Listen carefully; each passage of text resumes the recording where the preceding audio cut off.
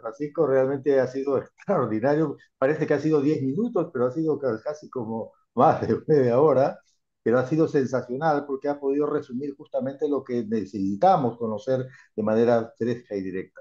Creo que vamos a pasar a la sesión de preguntas. Yo tengo algunas respuestas a lo que dice porque has tocado Perú y me parece interesante y vamos a profundizar ese tema. Y tú debes saber que posiblemente la precarización en Perú es alarmante. Ese es uno. El racismo es alarmante. Como tú sabes, el distanciamiento de la República del mundo andino ha sido realmente una república constante, permanente, casi xenofóbica, digamos así. Y el aislamiento del régimen respecto a las políticas para el sector andino, indígena, han sido realmente excluyentes.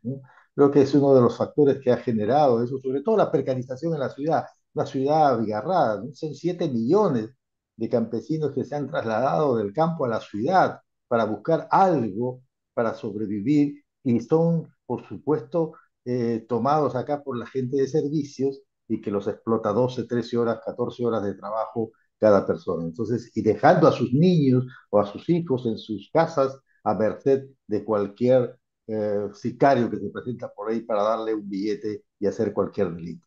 La, la sensación de temor permanente en el, caso del peruano es muy grande y creo que aciertas cuando dices efectivamente ese es el tema que nos preocupa. ¿no? Todas las encuestas, lo primero que produce es el problema de la seguridad. Y esto se ha acentuado también en la medida en que ha habido la migración venezolana que ha, ha generado, han venido sectores que han provocado un alza en las tasas de alevosía, digamos, para, para cualquier eh, actividad. Y han desplazado también trabajos que eran precarios para los que estaban acá, lo han desplazado por menos valor. Eso también ha creado una sensación de inseguridad muchas fuerte. Gracias, Jorge, muchas gracias. Y creo que vale la pena, vale la pena poder examinarlo con más detalle porque implica eso. Bueno, vamos a pasar a las preguntas y ese creo que este, eh, yo tengo algunas porque creo que antes de que se me pase, uh, una de ellas era respecto a que nosotros tenemos mucho acá desarrollado la justicia comunitaria muchas veces, en, sobre todo en el campo, pero también en las zonas urbanas se ha ensayado, hay una especie de eh, legitimidad para las rondas vecinales también, que no funcionan como, como, como debe ser, pero, pero hay, quería saber cómo se ha desarrollado este sistema, porque es muy propio de una cultura tradicional acá en el Perú desarrollar las comunidades, una justicia comunitaria, sobre todo en los elementos comunes, pero no sé cómo será en Nicaragua, porque sé que hay comunas también, hay organizaciones barriales, pero no sé cuál va a ser el límite de ello, ¿no? Esta es una de las cosas que me preocupaba para ti, pero vamos a dar paso a los compañeros para que pregunten. Adelante, pueden abrir su micro ya. O los que tengan por chat, también pueden hacer las preguntas por el chat, si, si, si gustan. O las personas que estén interesadas en abrir su micro, adelante. Buenas noches. Adelante, Julián. Este, yo lo he escuchado con mucha atención al, ponente Francisco Bautista y nos ha dado bastante luz y bastante información respecto a la, violencia ¿no? en Centroamérica. Pero en ningún momento ha mencionado lo que está pasando en Haití, porque ha llegado información en que han llegado a un extremo de salvajismo la delincuencia ahí en Haití, a tal punto de que inclusive se están llegando a los niveles del canibalismo. Ha habido episodios donde han descuartizado humanos y han hecho un caldero de ellos, de esa víctima. Y inclusive parece que ha habido también renuncia de, los funcionarios del, gobierno, ¿no? ¿En qué sentido nos podría explicar el, el ponente eh, Francisco Bautista? Esa era la pregunta. Muchas gracias. Muchas gracias, Julián algo también que estaba en, mis notas, me perdieron, pero ya me recordé. Yo sé que tú has sido también embajadora en el Vaticano, pero justamente este, tuvo problemas este, la crítica general de la oposición norteamericana y de la reacción a nivel internacional contra la policía, que decía que era represiva, que no pedía los mítines y que había hecho toda una campaña internacional que ha pegado incluso acá en Perú porque muchas personas que normalmente siempre, siempre este, han estado por el lado de toda las, las, la ola, digamos, de soberanía, de los gobiernos pro-soberanos, se han entendido de eso y han pensado, ah, caramba, sí, pues efectivamente hay un proceso represivo ahí, autoritario el frente y en particular Ortega, así que ha sembrado esa idea. Me, gustaría que puedas identificar las características de la, de la oposición violenta, de la represión en Nicaragua, porque creo que es un elemento que se puede repetir en momentos, definitivamente, y se repite acá en Perú, de hecho. ¿Algún otro compañero adelante?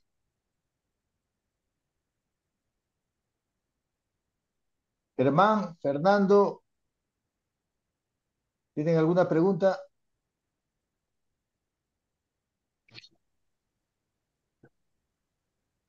Hola. Adelante. Rubén adelante. Sí, gracias. Eh, en primer lugar, mi agradecimiento al compañero de Nicaragua que nos ha dado una explicación del tema de la violencia en Centroamérica y particularmente en su país, que en cierto modo viene a ser una excepción a toda esa ola de criminalidad, digamos, que eh, se ha ensañado en esa parte de, del continente, pero eh, en lo que, digamos, hemos percibido, digamos, de, de primer orden es cómo la policía tiene buenas relaciones con la comunidad y él habla de una policía al servicio de la comunidad, incluso ha resaltado el papel que puede jugar una madre, una mamá en el tema, digamos, de disuadir o de, eh, digamos, influir para que el hijo ya se aparte de las, lo que se, se ha dicho, las, las malas juntas. Sí, eh, claro, para conocimiento del, del compañero de Nicaragua, en el Perú, pues la inseguridad ciudadana básicamente está en las zonas urbanas, en las capitales de los departamentos, de las regiones que tienen alta concentración de, de población y sobre todo se ha incrementado con la venida, con la llegada promovida por los gobiernos para que venga la gente de Venezuela, porque de esa manera se demostraba que la gente estaba saliendo de una dictadura en busca de una libertad. Entonces se dio facilidades extremas a tal punto que tenemos más de un millón de venezolanos en el Perú con crimen organizado, con el tren de Aragua, etcétera, etcétera y con niveles de violencia nunca vistos en, en el país y también los colombianos, con el gota a gota, la extorsión, que es la forma más, más nítida de cómo se presenta la delincuencia, por ejemplo, acá en Lima, en los mercados, que son préstamos que no los pueden pagar, etcétera, etcétera.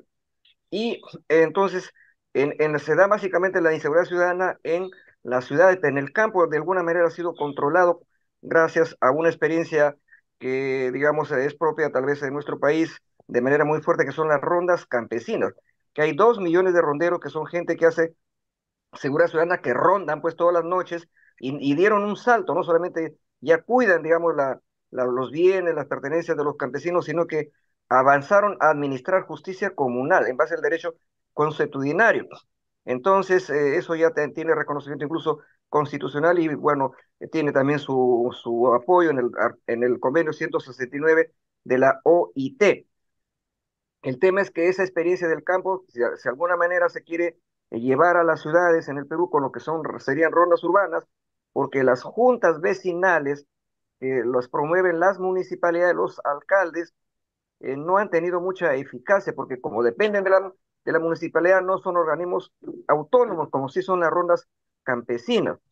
Entonces, hay experiencias por todo lado positivas, pero claro, está de moda el buquel, etcétera, etcétera. Yo lo que quisiera pedirle al, compañero de Nicaragua es si nos podría explicar un poquito más cómo se da esa alianza, esa integración entre eh, la policía y la comunidad, para que, digamos, podemos eh, hacer que la población participe en seguridad ciudadana, porque eso no lo va a hacer el Estado solo, ni la policía en el Perú va a abastecerse para, digamos, a cuidar a más de 33 millones de habitantes que tenemos en el Perú. Entonces, si por ese lado pudiera algo desarrollar un poquito más, porque también nosotros eh, que estamos en la actividad política, tenemos que tener una propuesta democrática, una estrategia, digamos, desde el campo popular para eh, enfrentar la, el tema de la inseguridad ciudadana, porque la derecha que nos, nos propone simplemente estado de emergencia, como lo han hecho, allá en, El Salvador con los estados de excepción, nos promueve, nos, nos propone simplemente más cárceles, penas más duras, cadena perpetua, pena de muerte,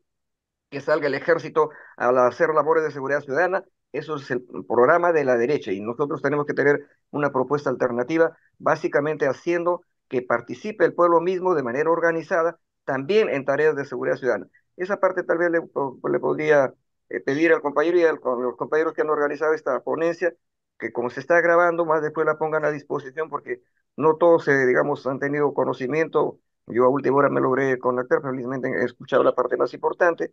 Eso es todo, mi estimado compañero. Muchas gracias, compañero. Bueno, antes de, de, que dé las respuestas del compañero Francisco, que va a ser prácticamente su mensaje final ya, quisiera señalarles de que estamos trabajando el tema de justamente el convenio 169, algunos detalles de cómo se puede desarrollar estas acciones legales, porque están de juego el próximo congreso de los, este, de los compañeros de las comunidades del Consejo de Comunidades eh, de Autoridades Originarias de Puno. Así que lo invitamos también para este próximo congreso que va a ser ya prácticamente el 20 y 21, así que espero que puedan participar eh, en, esta, en este evento. Estas actividades se van a desarrollar del 20 y 21 de marzo, eh, todos los días, así que estamos pidiendo también a los compañeros que puedan poder enviar sus mensajes a, a las actividades que puedan desarrollarse. Este es el, mensaje del, del, Congreso, así que lo invitamos a todos para que puedan participar.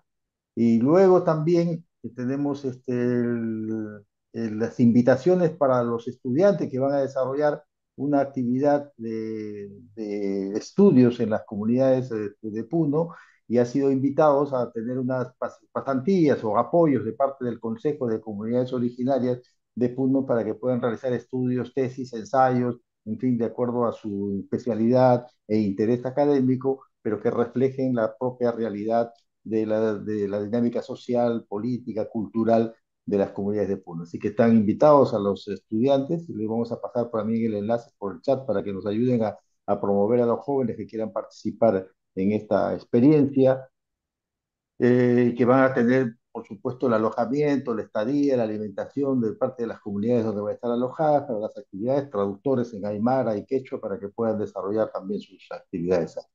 Entonces están invitados a estas actividades, estamos centrándonos ahora en apoyar mucho a los compañeros de Puno y así que espero que todos puedan participar en ello. Muy bien, pasamos entonces al comentario final de Francisco, siempre agradeciéndole la disposición que ha tenido para poder visitarnos y poder hacer realmente esta explicación interesante. Adelante, Francisco. Bueno, muchas gracias, Jorge, por la oportunidad. Bueno, hay muchos comentarios, pues requerirían otra hora, pero ya el tiempo se fue. Eh, miren, el tema de la justicia comunitaria, eh, de los mediadores o facilitadores judiciales y todas esas formas son importantes principalmente en los sectores rurales y en los sectores alejados de los centros urbanos. Eh, la solución pacífica de los conflictos, eh, la creación de mecanismos de abordaje de los conflictos para evitar que los conflictos se desarrollen, esos conflictos entre vecinos, esos conflictos, digamos, de la convivencia cotidiana, esos son claves. Miren, el tema de Haití requiere un abordaje distinto al que estamos haciendo ahorita. Es muy complejo pero yo solamente diría que en realidad Haití ha sido víctima de un colonialismo despiadado y de una injerencia extranjera y misericordia. Es consecuencia de la intervención y de, no, y de devastar a ese país desde el colonialismo francés y después norteamericano e impedirle construir su propio destino. Ahorita la situación de Haití es dramática, es lamentablemente dramática y, y, hay muchos intereses que se han venido manejando eh, durante los últimos dos siglos. Eh, sobre el tema de, de, la, de la oposición violenta en Nicaragua, eso requiere otro abordaje, podemos hacerlo en otro espacio cuando ustedes quieran, analizar la problemática nacional y la reacción ante esa situación. Lo, curioso que podría decirle es que Nicaragua es un país sistemáticamente agredido sistemáticamente agredido y sin lugar a duda el país que más invasiones militares y agresiones militares ha tenido en la historia de los últimos dos siglos. Eso está perfectamente demostrado. Entonces, nosotros hemos sido, eh, hemos, han tratado de impedirnos de construir nuestro propio modelo, de, de reafirmar nuestra soberanía, de reafirmar nuestra independencia y nuestra determinación. Y los actores externos han tenido la descarada actitud no solamente de, de, de achacarnos, el negarnos a renunciar a nuestra soberanía, sino manipular actores locales internos para lograr sus propósitos de injerencia, de intervención, de descalificación, de desestabilización en la historia de Nicaragua. Eh, solamente el siglo XX, Sandino eh, se resistió a la invasión norteamericana, una invasión que duró desde 1912 hasta 1933. Más de 20 años de invasión militar directa, de presencia militar directa en Nicaragua. Las tropas norteamericanas ocuparon el país, ocuparon el poder político, económico y militar, impusieron tratados los que quisieron eh, y decidieron sobre Nicaragua durante casi 20 años. Eso hasta que Sandino se rebeló ante esa... Eh, así que eso te requeriría otra discusión, otra, otra conversación. Miren, las relaciones de la policía con la comunidad pasan por un factor clave, cultural. Hay que aceptar que la comunidad debe tener la posibilidad de decidir y de participar. Eh, los oficiales, los jefes y las autoridades políticas, cuando se consideran que, que nadie más puede participar, que ellos son los líderes absolutos y los conocedores absolutos, entonces el poblador de una comarca, el poblador de un barrio no tiene nada que decir porque nadie le va a hacer caso. Eh, pero cuando lo tomas en cuenta, eso requiere romper el esquema autoritario de superioridad de la autoridad policial y política frente al ciudadano común. Eso no es tan fácil. Yo diría que eso es lo más difícil de todo. Pueden hacer una ley nueva y la prueban en el Congreso y sale mañana, pero cambiar el pensamiento cultural requiere reformas mucho más de fondo. Quiero agregar también que hay un fenómeno, por lo menos que yo lo he comprobado en Guatemala, insisto, no conozco Perú, y es que en las comunidades mayoritariamente indígenas, el nivel de violencia es mínimo.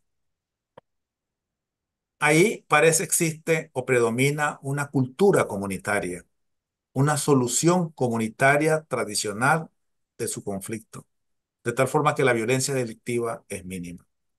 Donde la población es más concentrada y la concentración más alta es de población mestiza, la violencia sube. De tal forma que eh, parece ser que directamente proporcional el nivel de violencia al nivel de hacinamiento social. Eh, y no depende solo de la concentración de población por kilómetro cuadrado, sino una mayor concentración donde las personas disputan un territorio común, donde tienen algunas situaciones de, de extrema desigualdad, de exclusión, donde el acceso a los servicios es desigual, donde los barrios marginales y, la, y las sociedades marginales giran alrededor de núcleos urbanos con grandes posibilidades, eso genera violencia. La exclusión, la desigualdad social, yo no sé cuál es el índice Gini en, en el Perú, pero ese indicador de violencia es fundamental. Y yo les agregaría otro indicador que es clave en economía, se usa mucho, y es la, la tasa tributaria. 0.6 eh, es el Gini. Eso es alto. Eh, y la, y la, la, la, más, la, tasa tributaria, por ejemplo. Eh, un país donde los que tienen más no pagan los impuestos. Es decir, ¿cómo va a sostener el Estado, la educación, la salud pública? ¿Cómo va a sostener los sectores más vulnerables si los que tienen más no pagan? ¿La política tributaria es progresiva o es regresiva? Preguntaría. La tasa tributaria dice los indicadores de Naciones Unidas que un país para poder enfrentar el desarrollo necesita tener una tasa tributaria no, no menor del 20%. Es decir, por cada 100 que produce el Producto Interno Bruto, 20 deberían estar destinados al impuesto. Y esos 20 tiene que pagarlos el que tiene más. Y ahí viene el carácter regresivo o progresivo de la tasa impositiva, que es lo que marca la diferencia. Entonces, la desigualdad socioeconómica, la tasa tributaria, eh, los niveles de desigualdad, de, de, exclusión, etcétera, son factores de violencia que hay que considerar de manera estructural en las economías y en la sociedad. Bueno, muchas gracias a todos ustedes, muchas gracias Jorge, y estamos a la orden cuando querramos, cuando podamos conversar sobre algunos de los temas que les interese a ustedes con mucho gusto. Muchas gracias a todos, muchas gracias a ti en particular por el tiempo que has dispuesto y por la excelente exposición que nos has ilustrado realmente de manera genial. Vamos a distribuir lo máximo posible la grabación y los comentarios también en, en Facebook y en YouTube desde mañana. Muchas gracias a todos, muy buenas noches, que la